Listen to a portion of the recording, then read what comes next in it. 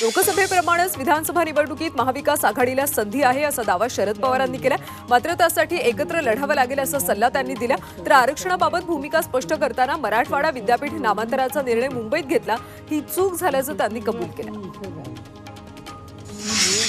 मनोज जरांगेंच्या मागणीवर शरद पवारांनी आपल्या पक्षाची भूमिका जाहीर केली. आरक्षण प्रश्न सुटावा हा आमचा आग्रह असून ज्या समाज घटकातून प्रश्न सुटणार असेल त्यांना बोलवा. सुसंवादाची आणि चर्चेची आमची भूमिका असल्याचं पवारांनी म्हटलं. शरद पवार यांनी मुख्यमंत्र्यांची भेट घेऊन त्यांना आरक्षणासंदर्भात मध्यमार्ग सांगितल्याचा गौप्यस्फोट शरद पवार पक्षाचे प्रदेशाध्यक्ष जयंत पाटील यांनी केला. तर चार महिन्यात आरक्षणासंबंधी कुणासोबत चर्चा झाली ते किमान विरोधी पक्षनेत्यांना तरी सांगा अशी विनंती आपण सरकारला केल्याचं जयंत पाटील म्हणाले.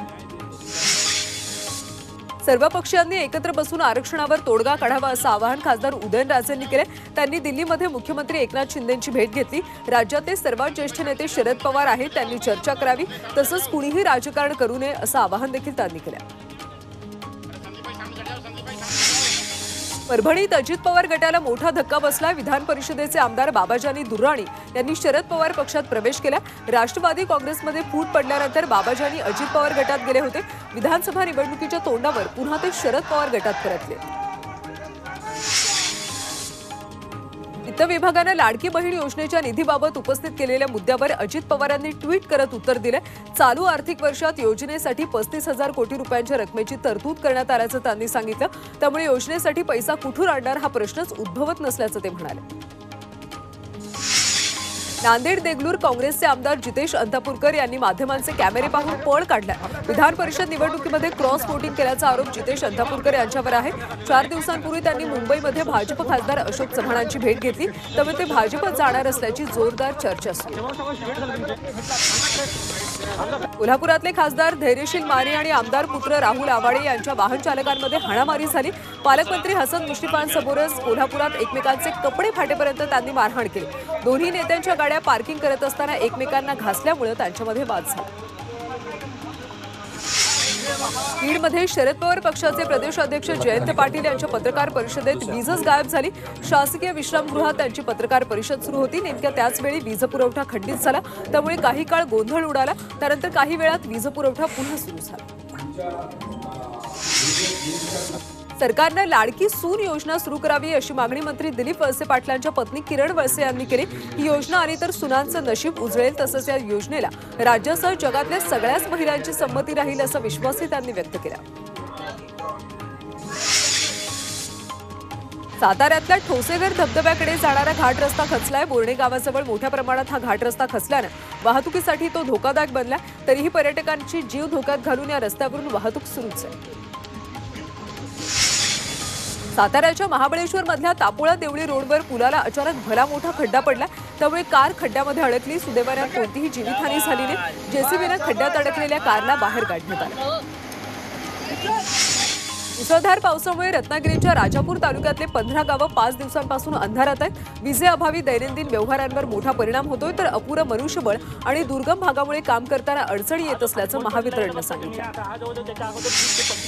वाशिमच्या राजुरा इथल्या स्मशानभूमीसह रस्त्याची दुरवस्था झाली.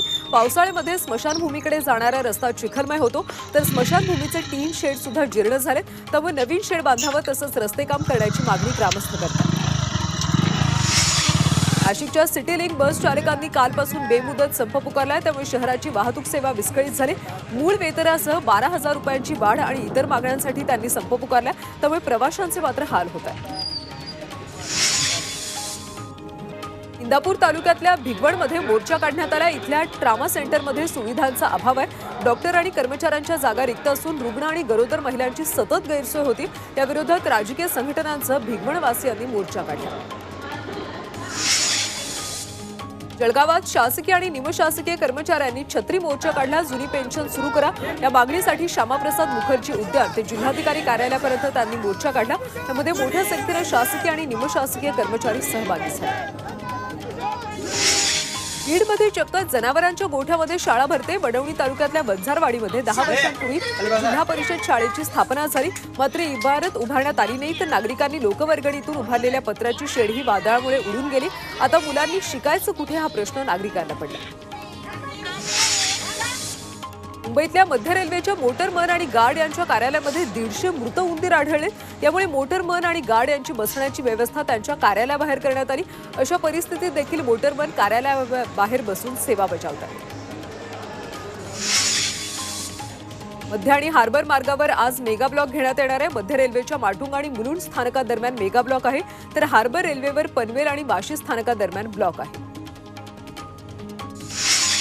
नाशिकमध्ये समाधानकारक पाऊस न झाल्यामुळे चणकापूर आणि गिरणा धरणांनी तळ गाठलाय. त्यामुळे मालेगाव शहरात तीन दिवसांत पाणी पुरवठा करण्याचा निर्णय महापालिकेने घेतला तसंच पाण्याचा अपव्यय करताना कुणी आढळल्यास त्यांच्यावर कारवाई करणार करण्यात येणार असल्याचं प्रशासनानं म्हटलं लोणावळा आणि मावळच्या पर्यटन स्थळावरची बंदी सत्तावीस जुलैच्या रात्री बारा नंतर शिथिल होती. अतिवृष्टीच्या पार्श्वभूमीवर इथल्या पर्यटन स्थळांवर बंदी घालण्यात आली होती मात्र आता ही बंदी हटवण्यात आली. यवतमाळमध्ये नाल्याच्या पुरातून बैलगाडी नेत्यांना चालकाच्या अंगलट आलं. उमरी कोपेश्वर ते झापरवाडी मार्गावर नाल्याच्या पुलावर ही घटना घडली. बैलगाडी मागे एक गाय आणि गोरा बांधला होता. मात्र पाण्याच्या प्रचंड प्रवाहात बैलगाडीसह सगळेच वाहून गेले. बैलाच्या मदतीनं चालक बाहेर पडला तर बैलगाडीला बांधलेले गाय आणि गोरा वाहून गेले. कोल्हापुरात सायंकाळनंतर पुन्हा एकदा पावसाला सुरुवात झाली. सकाळपासून पंचगंगा नदीची पाणी पातळी सात इंचानं वाढली त्यामुळे सखल भागात पुराचं पाणी आणखी साचलं. तर विनस कॉर्नर परिसरात सकाळपेक्षा अधिक पाणी साठलं असून नागरिकांच्या घरासह रस्त्यांवरच्या दुकानांमध्ये देखील पाणी शिरलं. धुळ्यातल्या मालनगावच्या धरण क्षेत्रात पावसामुळे पाण्याची आवक वाढली यामुळे कान नदीमध्ये पाण्याचा विसर्ग करण्यात येतोय. तर नदीपात्रात मोठ्या प्रमाणात पाणी येत असल्यानं नदीकाठच्या गावांना प्रशासनानं सतर्कतेचा इशारा दिला यवतमाळमध्ये पावसाची संततधार पाहायला मिळाली. यामुळे लोकांना छत्री रेनकोट घालूनच घराबाहेर पडावं लागतं तर नाली तुडुंब भरल्यानं रस्त्यावर पाणी आले तसंच रस्त्यावरचं खोदकाम आणि ठिकठिकाणी खड्ड्यातून नागरिकांना मार्ग काढावा लागतो. सांगलीतल्या प्रशासनाकडून कृष्णा नदी पात्रात मॉकड्रिल घेण्यात आलं. आर्मी एनडीआरएफ आणि पोलिसांच्या एकत्रित पथकांनी थेट कृष्णा नदीच्या पूरबाधित क्षेत्रामध्ये बचाव कार्याची प्रात्यक्षिकं केली आणि महापालिकेच्या आपत्ती दलाची टीम पुण्याला रवाना झाली. पूरग्रस्तांना मदत करण्यासाठी मुख्यमंत्री एकनाथ शिंदेच्या निर्देशानुसार ही टीम रवाना झाली. त्यामध्ये कार्यकर्त्यांसोबत सफाई साहित्याचा देखील समावेश आहे. सोलापुरात माळशिरस तालुक्याच्या नीरा नदीवरच्या बंधाऱ्याचा भराव वाहून गेला. शासनानं काही दिवसांपूर्वीच लाखो रुपये खर्च करून बंधाऱ्यावरचा भराव आणि रस्त्याचं काम केलं होतं. मात्र निकृष्ट दर्जाच्या कामामुळे तो भराव वाहून गेल्याचा आरोप ठाकरे गटाने केला. धुळे जिल्ह्यात गेल्या दोन दिवसांपासून पावसानं उसंत घेतली त्यामुळे आता शेतीच्या अंतर्गत मशागतींच्या कामांना सुरुवात झाली. जिल्ह्यात खरीप हंगामाच्या चौऱ्याण्णव टक्के पेरण्या पूर्ण झाल्यात. यंदा कापसाबरोबर मका पिकाचं क्षेत्र वाढलं येवला तालुक्यातल्या कोथिंबीरीला कवडी मोल भाव मिळतोय. त्यामुळे राजापूरमधले शेतकरी विठ्ठल वाघ यांनी कोथिंबीर पिकावरून नांगर फिरवला. एक एकर कोथिंबिरीचं पीक सात ते आठ हजारांना व्यापारी घेत असल्यानं त्यांना हा भाव परवडत नाहीये. त्यामुळे निराशेतून त्यांनी हे पाऊल उचललं. वादग्रस्त आय एस प्रशिक्षणार्थी पूजा खेडकर यांच्या कुटुंबियांच्या कंपनीचा लिलाव होण्याची शक्यता आहे. पिंपरीतल्या थर्मो वेरिटा कंपनीनं दोन लाख बहात्तर हजारांचा कर भरलेला नाहीये. त्यामुळे आधीच जप्तीची कारवाई केलेल्या कंपनीचा आता लिलाव होऊ शकतो. पुण्यात बनावट आय एस अधिकाऱ्याची बातमी समोर येते. रेणुका ईश्वर कर्नुरे यांनी आय एस असल्याचं सांगत पुण्यातून वडकी परिसरातल्या अनेकांची लाखो रुपयांना लूट केल्याचं समोर आलं रेणुका कर्नुरे परिसरातल्या अनेक महिलांना व्याजानं पैसे देऊन दरमहा दहा टक्क्यानं पैसे उकळत असल्याचं तक्रार पीडितेनं केली.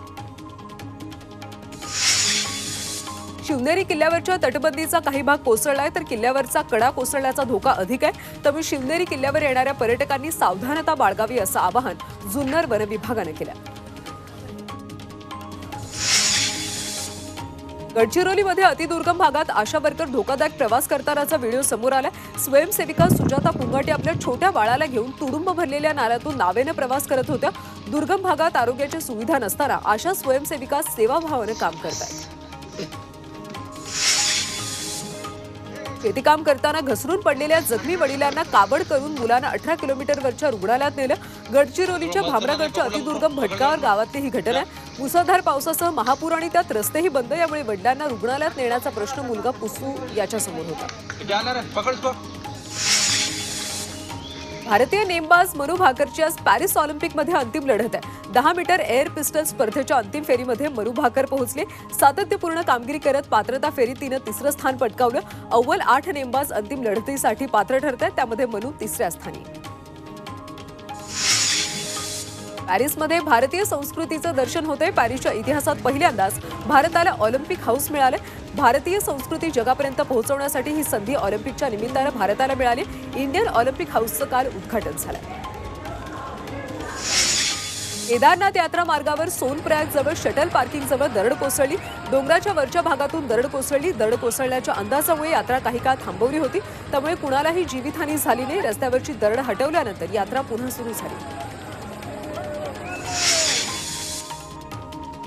अनेक जणींना लग्नाच्या जाळ्यात ओढून आर्थिक गणना घालणारा नवा लखोबा लोखंडे सध्या नालासोपारात अवतरलाय. तब्बल पंचवीस लग्न करणाऱ्या नराधमाला पोलिसांनी बेड्या ठोकल्यात. फिरोज नियाज शेख असे या लुटारू लखोबाचं नाव आहे. दोन हजार तेवीसमध्ये सहा वेळा तो जेलमध्ये जाऊन आला होता.